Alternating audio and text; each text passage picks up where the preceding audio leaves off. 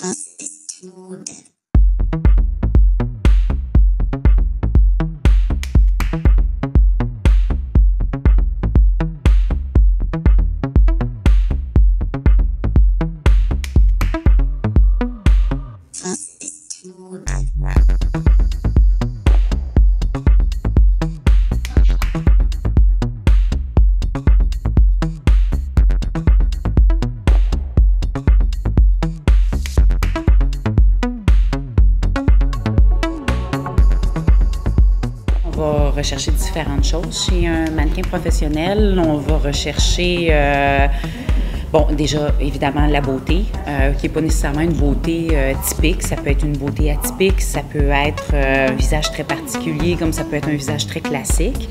par contre, il y a des, règles qu'on est obligé de suivre, dont par exemple la grandeur.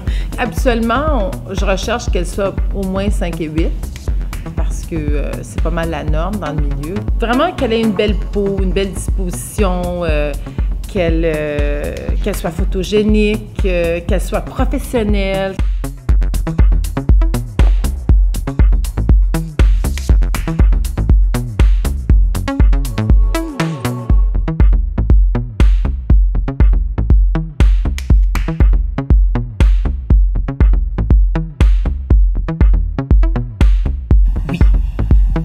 C'est euh, c'est un bon plus cette année, je dirais en fait. On pourrait même en avoir plus qu'une. Évidemment, au final, il va y en avoir qu'une qui va être élue euh, grande gagnante. J'ai vu des très très belles filles.